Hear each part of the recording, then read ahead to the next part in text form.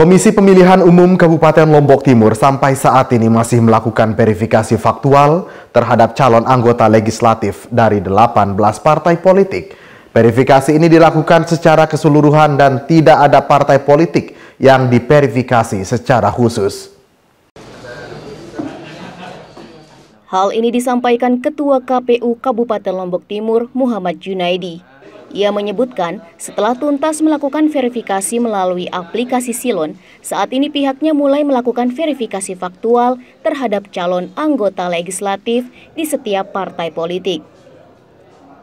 Adanya isu partai politik diverifikasi secara khusus oleh KPU tidak dibenarkan karena dalam verifikasi ini harus dilakukan secara terbuka dan tidak ada bakal calon legislatif atau partai politik yang diistimewakan atau diverifikasi secara khusus yang dapat meloloskan bakal calon yang tidak memenuhi syarat.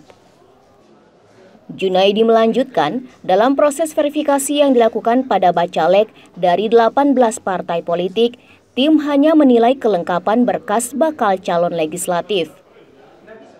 Jika ditemukan masih adanya pejabat yang belum mengundurkan diri, akan diberikan waktu perbaikan sebelum ditetapkannya daftar calon sementara.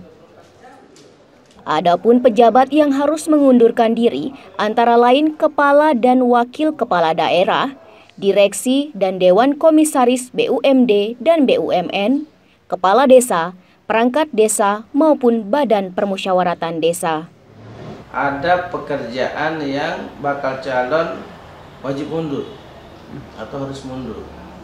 Kepala daerah dan wakil kepala daerah kepala desa perangkat desa anggota BPD komisaris direksi karyawan BUME, BUMN, BUMD eh, dan beberapa ya yang itu itu harus mengundurkan diri itu adalah kelengkapan yang harus disampaikan oleh bakal calon. Sudah partai mana saja yang sudah dilaksanakan verifikasinya ini?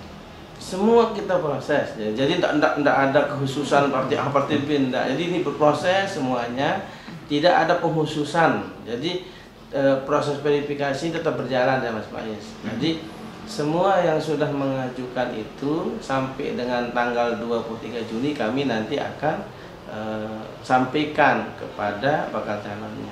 Tidak ada kekhususan ya.